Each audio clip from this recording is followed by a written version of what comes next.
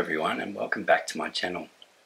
This video is just an in-between for our summer camp to show you how easy and quickly the sashing goes together. So join with me now for a quick little, not much talking video and we'll show you how to do it.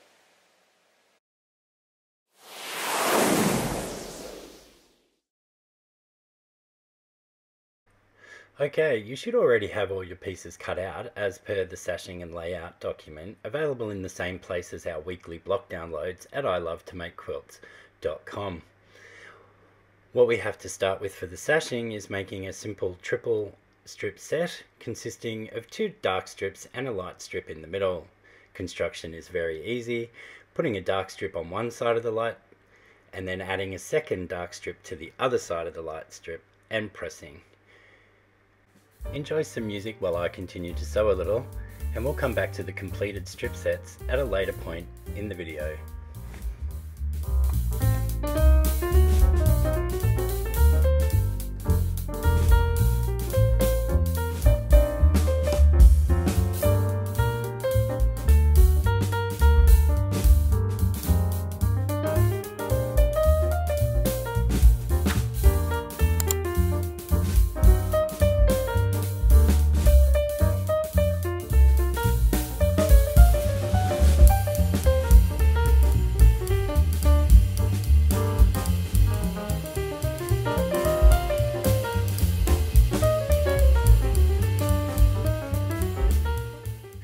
Now just a quick demonstration of how I sew with the fabric strips.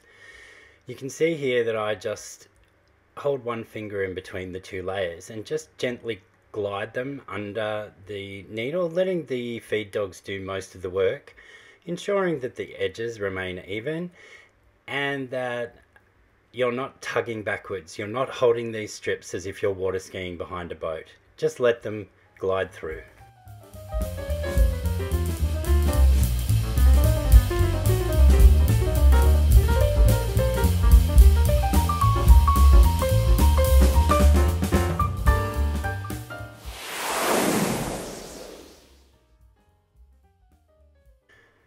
The cornerstones are pretty self-explanatory. So as you can see here, I have the main part of the cornerstone laid out from the pieces cut as per directed on the pattern. So I'm just going to sew the middle together first and then put on the two ends and I'll come back to you once that is done. I'll only be showing footage of sewing two units together as this is all I need for the next part of the sashing.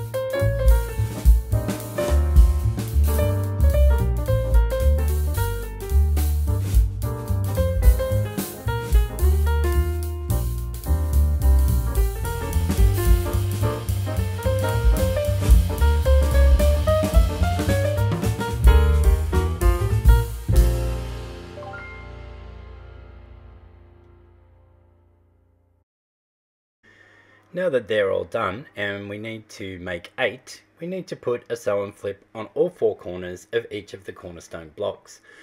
In this next part coming up, I'm going to show you how I do that, both the traditional method with a drawn line and my preferred method with the folded corner clipper.